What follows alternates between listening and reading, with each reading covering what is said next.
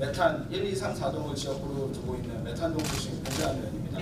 먼저 본 의원에게 5분 자유발언의 기회를 주신 김기정 의장님을 비롯한 선배 동료 의원님들께 진심으로 감사 인사드립니다. 오늘 본 의원은 2022년 11월 15일 언론에서 제기된 수원시 체육회 불공정한 관리직 채용 관련 의혹에 대해 의시자와 모든 시민께서 납득하실 수 있도록 수원시가 해당 채용 의혹 및 수원시 체육회의 채용 기준과 절차 전반에 관한 감사를 시행할 것을 촉구하기 위해 이 자리에 섰습니다.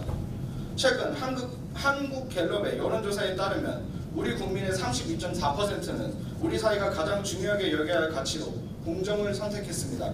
이는 2위인 평등과 3위인 정의를 더한 것보다 많은 것으로 공정이야말로 우리가 당면한 시대의 정신이라 할 수 있겠습니다. 그러나 안타깝게도 작년 광교복합체육센터 관리직 임용권에 대해서 공정성 논란이 있었습니다. 관련 언론 보도에 따르면 이 같은 논란이 불거진 이유는 A씨가 현 이재준 특례시장 인수위원 인수위원회 복지 청년 여성위원으로 임명받은 사실이 확인됐고 관련 분야에 직접적인 경력이 없기 때문이라고 언급하고 있습니다. 이에 본 의원은 지난 회기 업무보고 자리에서 다음과 같은 내용의 질의를 했습니다. 아, 관련 내용 질의를 했습니다. 수원시 체육회는 채용 절차, 자격 요건, 면접 절차, 인사위원회 같은 재반 절차는 공정하고 합리적으로 거쳤다고 답변했으며 그 이후로는 별도의 이의 제기나 민원이 없었다고 대답했습니다. 정말 공정에서 이의 제기나 민원이 없었을까요? 본 의원의 생각은 다릅니다. 당시 본 의원이 응시자들이 제출한 서류, 서류 심사 결과, 면접 내용 및 결과를 제출해 달라고 했더니 개인정보보호법을 이야기하며 제출하기 어렵다고 했습니다. 하지만 개인정보보호법 제2조 제1호 과목에 따르면 개인정보란 개인식별이 가능한 정보를 의미합니다. 이에 본 의원은 개인식별이 가능한 정보를 삭제하여 달라고 요청했으며 지방자치법 제48조에 규정된 서류 제출 요구권까지 설명했습니다. 그러나 관련 자료를 끝내 제출받지 못하고 열람만 할 수 있었습니다. 왜? 그 이후로는 별도의 이의제기나 민원 같은 사항이 없었는지 수원시 체육부가 이런 답변을 했는지 알 법합니다. 법률에 따른 서류 제출 요청에도 열람만 시켜주는데 응시자들이 과연 어떤 협조를 받았겠습니까? 자료를 열람하며 자격 요건에 대한 의문이 들었습니다. 응시 자격은 세 가지 기준 중 한 가지 이상의 자격을 갖춘 자를 요구하고 있었습니다. 첫째, 학사 학위 취득 후 3년 이상 관련 분야 경력이 있는 자. 둘째, 5년 이상 관련 분야 경력이 있는 자. 셋째, 이와 유사한 자격이 있다고 인정되는 자.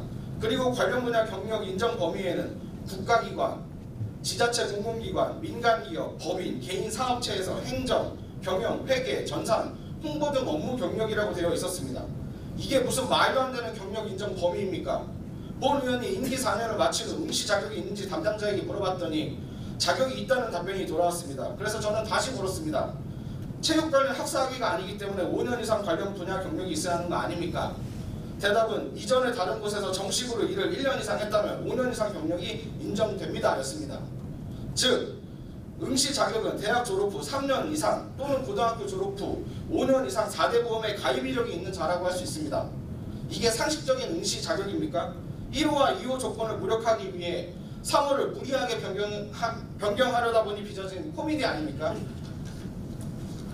본 의원이 경기도에 소속된 31개 시군 체육계획 채용 공고를 거의 다 찾아보았습니다. 하지만 이런 경우는 없었습니다.